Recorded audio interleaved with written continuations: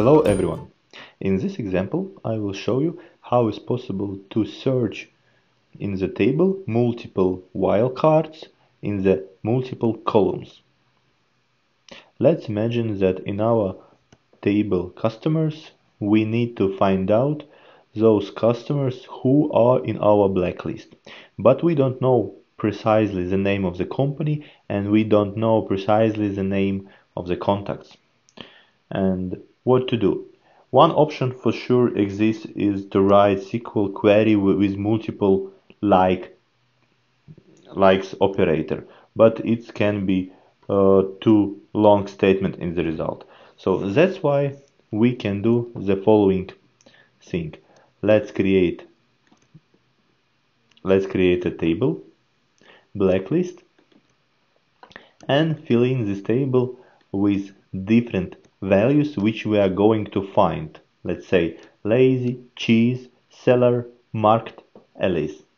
We don't know. It can be the part of the company name or the part of the contact name. Yeah? Let's insert this data to the table and we can check right now that we have those values inside the table. Next we need to create the following function. We can call it looking for customers. We need to put one incoming argument. And inside what we're doing?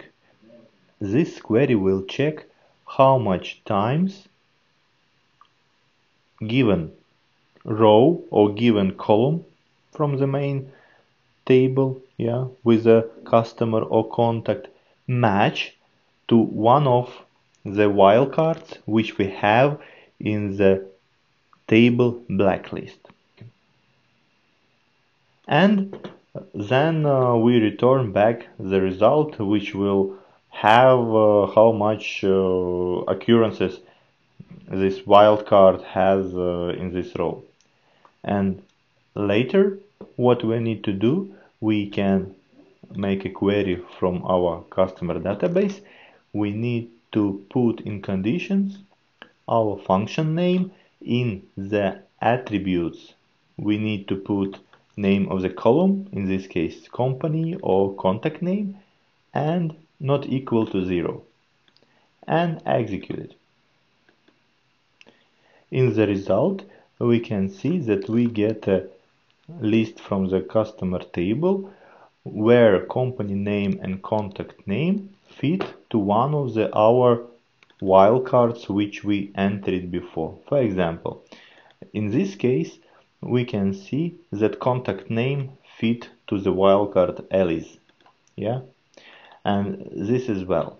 Next one we can see that uh, company name contain word seller and we have it over here next one we see that it uh, consists uh, name or text lazy. We have it here as well.